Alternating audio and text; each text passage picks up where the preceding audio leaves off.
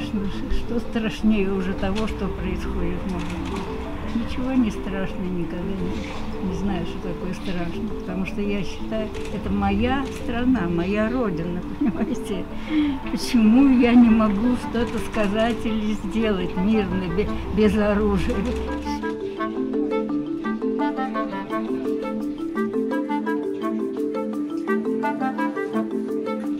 Именно вот эти события, они, они рождают творчество. Понимаете, какая-то появляется необыкновенная энергия, когда люди переживают это все.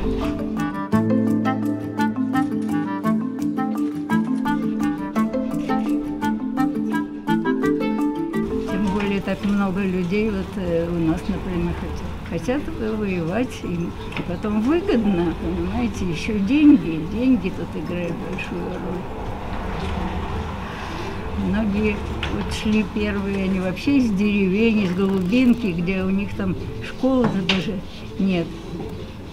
И им хотя бы хоть немножко заработать.